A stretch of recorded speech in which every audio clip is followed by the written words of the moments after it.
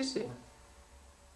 Amis du petit atelier, bonjour. Une deuxième vidéo, toujours consacrée à la pratique de l'aquarelle. On va encore rester aux champignons. Cette fois-ci, on va aller dans des champignons un peu plus colorés.